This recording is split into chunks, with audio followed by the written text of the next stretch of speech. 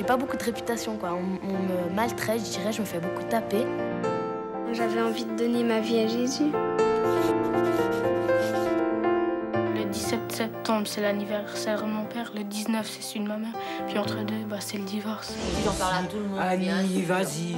Je me répète tous les mois, Bah, c'est bon, c'est bon, maman. Je, je suis autoritaire et c'est moi qui décide. J'ai pas envie d'être adulte parce que c'est pour vivre ce que je vis maintenant, ben.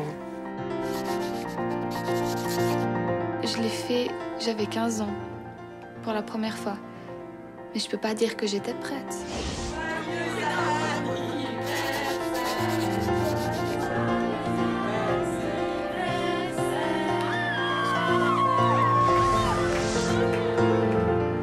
Mais justement, ça, ça fait cinq avions. On est comme toutes les femmes de l'époque qui se dénudent, qui se montrent toutes. Pas-.